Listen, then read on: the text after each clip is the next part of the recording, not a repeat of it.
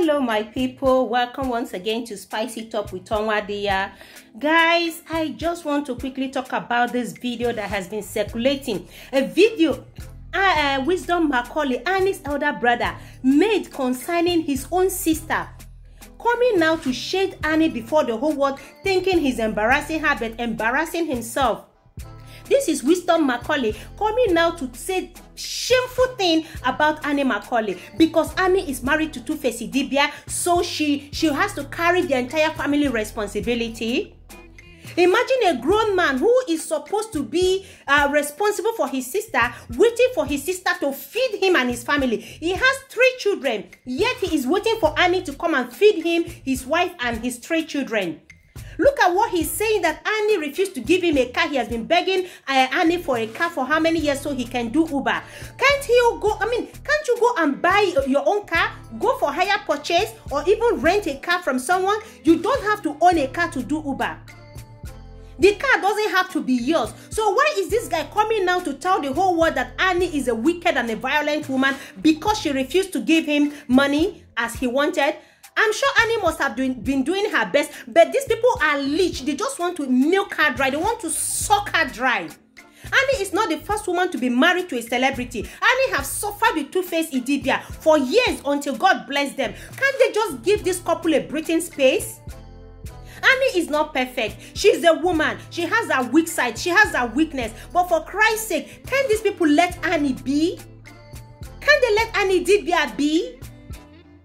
He is saying that Annie introduced him to drugs. How can your junior sister introduce you to drugs? Are you a baby? Do you still suck breast? That Annie will have to put drugs into your mouth. Annie made this man her manager, but he was misbehaving. Annie decided to sack him. Uh, to, to sack him. This is what family members do. You give them a job. You give them to be responsible. They will not take it serious because they feel, after all, you are a family member. You can't do anything to me. You can't sack me. Annie decided to sack this guy, and here he is, you know, shamelessly, shamelessly trying to to shade her before the whole world.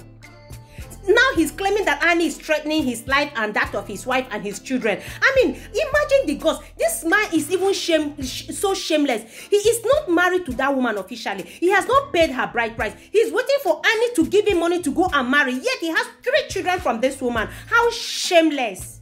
How shameless. As senior brother, you are a disgrace to all the firstborns. You are a shame to all the firstborn. You are a shame to men. Look at him. A full grown man. He is not disabled. Yet he is waiting for his younger sister to come and feed him. To help him marry his wife. Ah, shame. This is just too embarrassing. This is too embarrassing, guys. I'll play the clip now, put the audio now so that you, you listen to what this, this drug addict is saying. Annie introduced him to drug. Annie is a violent person. Annie is this, Annie is that. Come on, go get a life and leave this woman alone. Guys, before I go, don't forget to give me a, a thumbs up and then share this video if you can. Let me know your opinion. Don't forget to subscribe and to also leave your notification bell on so you get notified whenever I upload a new video. Here, guys, play, listen to his audio. Hello, Nigerians. My name is Wisdom Macaulay. I'm elder brother of Annie Macaulay Dibia. I'm crying out for help now.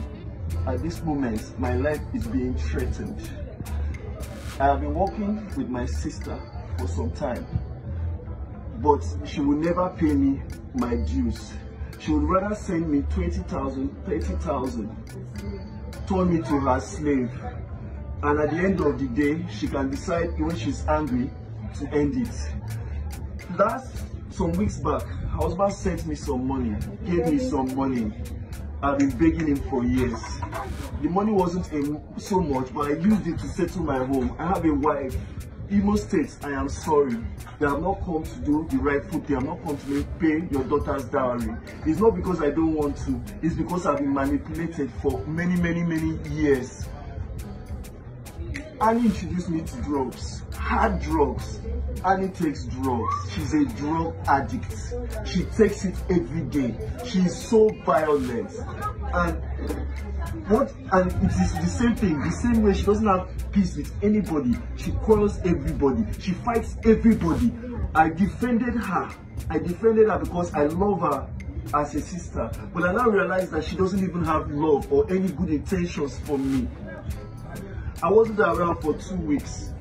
I came back because I had my own issues I was trying to sort. I came back, begged my sister that we should continue with the things that the work and everything. She started to take everything away from me.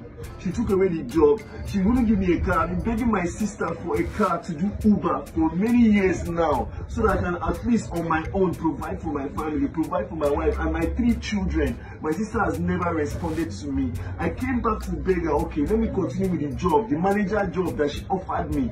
She offered me to be her manager. But then at the end of the day, she turned me to her errand boy. She turned me to a slave. Annie is evil. Like she will not. She she doesn't want me to be able to stand on my own. Then this afternoon, after she sent me out of her house, I heard that she went on social media to say I beat her. Nigerians, if I beat Annie inside Two Faces house, will I be able to sleep in Richmond Estate in Legushi for one night? I was there for five, for six, for six days begging my sister for an opportunity to work, opportunity to feed my children, opportunity to stand on my own, but she will not give me a chance. Every slight opportunity, she will call my wife and insults my wife. She insults everybody. She is violent. Every night she's on drugs. Every day she's on drugs. Even as she's reading this, even as she's hearing this now, she knows I am saying the truth, that she's ordering for crack. She introduced me to it. I was never like this. And sometimes got, got, got into my head. I believe that, okay, as a sister, maybe she had good intentions. If you go back to my previous pictures, this is not how I look. This is not who I am. At the end of the day, she now took away the only opportunity for me to be able to feed my own family from me. Because she doesn't want me to be able to stand on my own. This morning, I've been begging Annie for the least car in her, in her compound. The least car to you Uber that at the end of the day, I'll come and drop it for her. At least be able to provide for my family.